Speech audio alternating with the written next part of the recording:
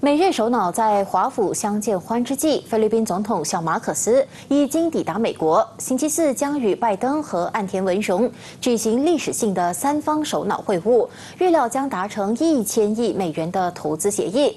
但是这场世纪会晤却激怒了菲律宾人，他们今天早上上街抗议，谴责小马可斯利用菲律宾在南中国海的主权来推动美国的地缘政治议程。Ginagamit lang tayong pon ng mga Amerikano.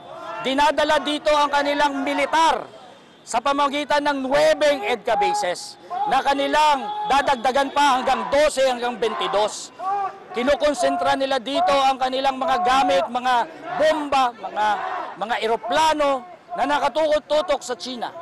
At anong ibig sabihin nun?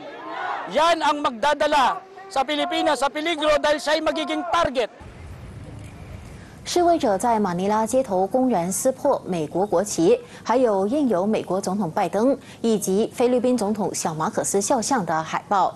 中国近来在南中国海的动作不断，区域冲突也不断升级。小马可斯领导的菲律宾政府急着与美国和日本强化军事关系。